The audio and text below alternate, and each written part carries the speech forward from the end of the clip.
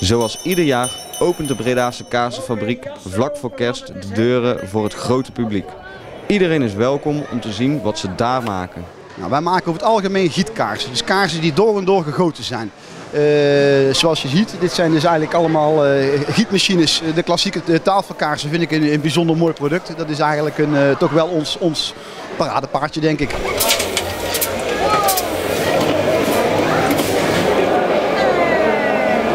En wat kunnen de mensen hier allemaal zien in de fabriek?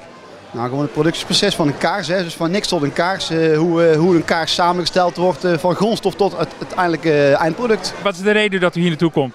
Ja, we zagen het berichtje op Facebook voorbij komen. Dus we hadden zoiets van, nou leuk, we gaan eens kijken naar de kaarsenfabriek. eh, altijd leuk. Nou, mijn zoontje die, eh, wilde graag kijken hoe dat eh, werkte en die wilde graag zelf de kaarsen maken. Ja, we hebben net even gekeken bij eh, die, die kaarsenproductie eh, met zijn hele grote bak. Dat vond ik wel interessant om te zien. Wat vind je het leukst? Ehm, nou, ik vind het leukst ja, de kaarsen maken. Omdat je dan eigenlijk zelf kan je alles maken. En zelf eigenlijk, dan heb je zelf eigen kaars gemaakt. Dit is een gietmachine.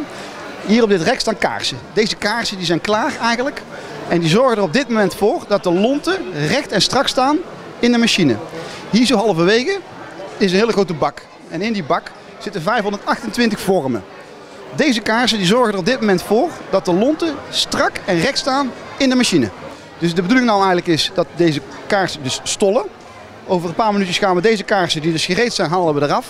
En die gaan er zorgen voor de volgende lichting kaarsen dat die dus zeg maar eh, strak en klaar zijn voor een nieuwe lichting.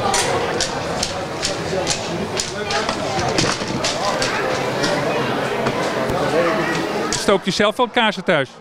Ja, ook wel. Niet, niet elke dag. Ik denk met kerst wel, wel meer, ja. Want verder af en toe in het weekend. Nee, met die kleine kinderen eigenlijk niet, nee. Nee, dan heb je weer van die nepkaarsjes. eh. Maar wie weet dat deze wel eh, gebruikt gaan worden. Ja.